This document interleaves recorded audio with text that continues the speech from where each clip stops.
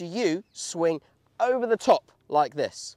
Well, let me show you what causes it and let me show you how to fix it. So the reason I see a lot of golfers swing over the top is down to their backswing. So they either stand themselves up like this and then have to get back down to the ball and you can see that club then comes over the top, it comes on this side of the ball and then they have to find a way of getting it through impact. Or the other one is they don't rotate enough and then they end up using their hands and throwing it at the ball. So they'll swing up here, not turning enough, and then as they're coming through, they're using their hands and suddenly that club is on this side of the ball, not great.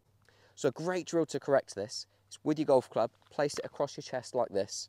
And what I want you to do is turn your body so that the club points down at the ball and the other end points behind you.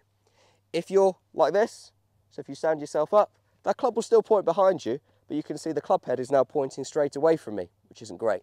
So we want to be here and then we can come through that ball and that will definitely help us swing a little bit more neutral, which hopefully will help you hit straighter shots.